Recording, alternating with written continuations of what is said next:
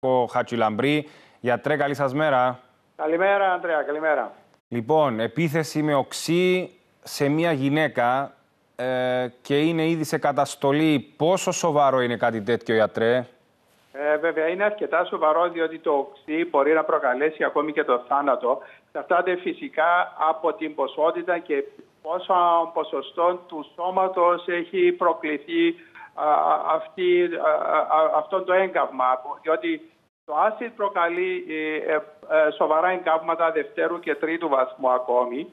Μπορεί να προκαλέσει προβλήματα καρδιακά, μπορεί να προκαλέσει σοβαρούς προκεφάλους, να ρίξει την πίεση του ατόμου, ε, μπορεί να προκαλέσει προβλήματα αναπνοής, πίχα, δύσπνοια, πονοκεφάλους, ζαλάδα και τελικά να χάσει την, ε, ε, την, αναπνο, την, τις αναπνοές και μετά να προκληθεί και ο θάνατος.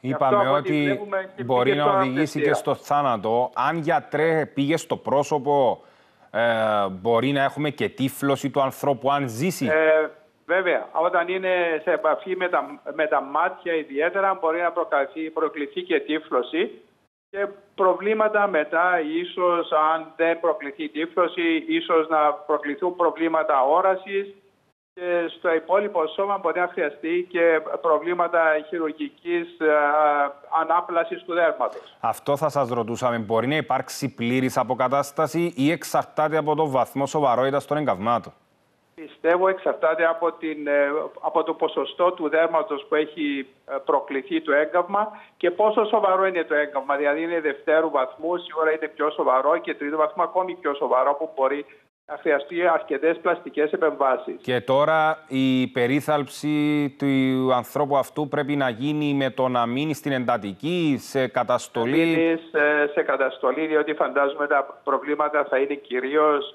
αναπνευστικά και καρδιολογικά και μετά θα είναι ο φόβος ε, κάποιας ε, μόλυσης ε, του δέρματος που μπορεί να προκληθεί ε, εφόσον δημιουργηθούν αρκετές πληγές στο δέρμα. Μάλιστα. και μετά θα είναι προσ, προσπάθεια αποκατάστασης του δέρματος και των τραυμάτων, του εγκάβματος. Γιατρέ, σας ευχαριστούμε πάρα πολύ.